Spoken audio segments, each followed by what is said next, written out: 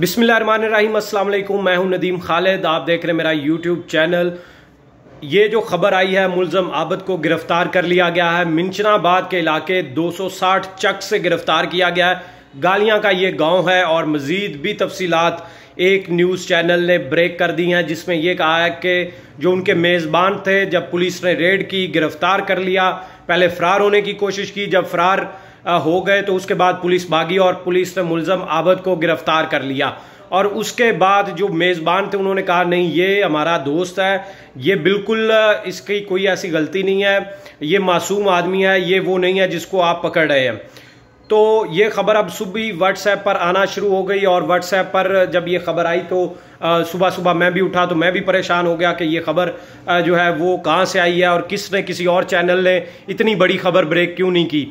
تو ایک seven news نے یہ خبر بریک کی اور اندر تفصیلات بھی بتائی گئی تھی رپورٹر کی جانب سے۔ تو میں نے ویریفائی کرنے کے لیے پہلے بھاول نگر پولیس سے رابطہ کیا، پھر منچنا آباد میں جو پولیس ہے ان سے رابطہ کیا کہ اس کو وہ ویریفائی کرتے ہیں کہ انہوں نے ایسی کوئی ریڈ کیا ہے اور ریڈ پارٹی نے ملزم عابد کو گرفتار کر لیا ہے۔ تو انہوں نے کہا ایسی کوئی اطلاع نہیں ہے ہمارے پاس۔ اس کے بعد پھر جو لاہور کے اندر پولیس ہے، پنجاب پولیس، ان کے آفیسر سے رابطہ کیا۔ پھر آئی جی پنجاب انعام غنی صاحب کو میسیج میں نے کیا، انہوں نے کہا ایسی کوئی اطلاع نہیں ہے، یہ بالکل بیس لیس خبر ہے، ہم پوری کوشش کر رہے ہیں کہ ملزم عابد کو گرفتار کر لیا جائے، لیکن ملزم عابد ابھی تک تحال گرفتار نہیں ہو سکا۔ یہ خبر بالکل جھوٹی ہے اور اس طرح کی جو خبریں مزید لوگ پھیلا رہے ہیں اور ایک پراپر ایک نیوز چینل نے یہ خبر چلائی ہے جو کہ بالکل جھوٹی خبر ہے اور اس میں ابھی تک کوئی صداقت نہیں ہے، ملزم عابد ابھی تک گرفتار نہیں ہو سکا، صرف ملزم شفقت ہی ابھی تک گرفتار ہے، جو چودہ روز کے جوڈیشل پر ہے۔ انتیس تاریخ کو دوبارہ اس کو عدالت میں اینٹی ٹیررزم کوڈ میں پیش کیا جانا ہے۔ تو اس لیے یہ جو خبر ہے کہ ملزم گرفتار ہو گیا عابد علی، تو یہ بالکل ابھی جھوٹی خبر ہے۔ ملزم عابد ابھی تک گرفتار نہیں ہوا، پولیس پوری کوشش کر رہی ہے۔ آٹھ ٹیمیں اور بھی چھاپا مار رات کو تشکیل دی گئی ہیں، لیکن ملزم عابد علی ابھی تحال گرفتار نہیں ہوا۔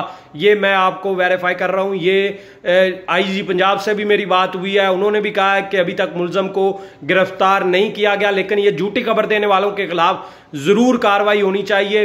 میں وہ خبر کا وہ حصہ لگا نہیں سکتا ہوں یہاں پر ویڈیو میں، جو کہ پوری ڈیٹیل کے ساتھ اتنی اتنی ڈٹائی کے ساتھ جھوٹ بولا گیا ہے کہ آپ کو میں بتا نہیں سکتا۔ وہ خبر بالکل جھوٹی ہے۔ اگر آپ کے پاس بھی آئے تو اس پر یقین نہ کریں۔ ملزم عابد کو ابھی تک گرفتار نہیں کیا گیا۔ اللہ حافظ۔